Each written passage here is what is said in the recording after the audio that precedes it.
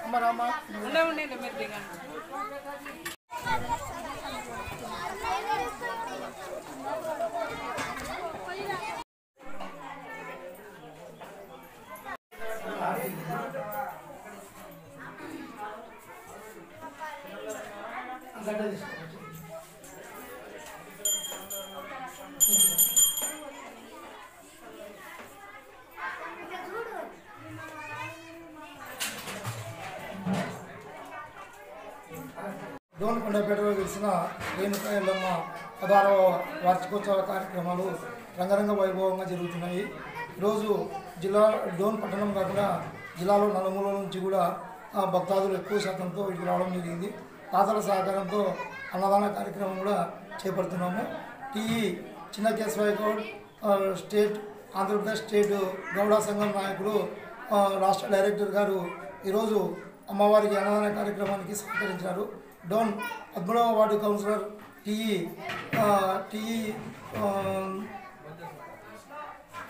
Dinesh Goud T Dinesh Goud గారు కూడా ఈ కార్యక్రమానికి చేతనిచ్చినారు. రోటరీ క్లబ్ మాజీ ప్రధాన కార్యదర్శి బైరెడ్డి గంగిరెడ్డి గారు అమ్మవారి కార్యక్రమానికి పదివేల రూపాయలు గో గోపుర విరాళాలను కూడా అందించినారు. అదేవిధంగా డోన్ పాల డైరీ కేంద్రం వాళ్ళు కూడా ప్రతిరోజు ఏం పేరు ఓబిలేసు. గారు కూడా పెరుగు పెరుగును మాకు అందిస్తున్నారు.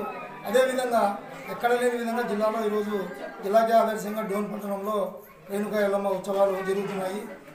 లతమ్మ గారు వచ్చేసి అమ్మవారి అలంకరణ ఈరోజు డోన్ పట్టణమే కాకుండా జిల్లాలో ఎక్కడ కూడా లేని విధంగా అమ్మవారికి అలంకరణ కార్యక్రమము ఆమె ఒడిబియ్య కార్యక్రమం కూడా చేపట్టి ఐదు వందల డెబ్బై ఒడిబియ్య కార్యక్రమాలు కూడా చేపట్టుకోవడం జరిగింది.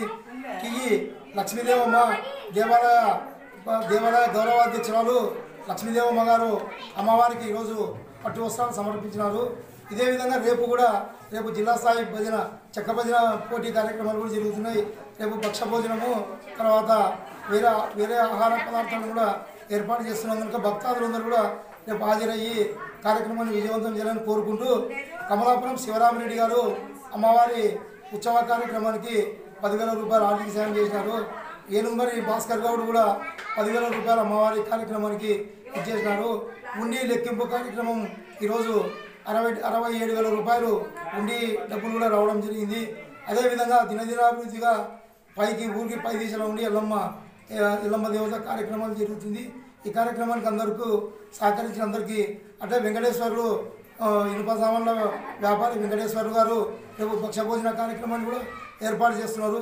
భక్తాదులందరూ వచ్చి అమ్మవారి స్వామివారి కుటాకపక్షాలను పొంది రేపు ప్రసాద కార్యక్రమాన్ని వినియోగించుకోవాల్సిందిగా కోరుతున్నాం. నా పేరు ఏ నాగరాజు. నేను ఆలయ నిర్వాహకుని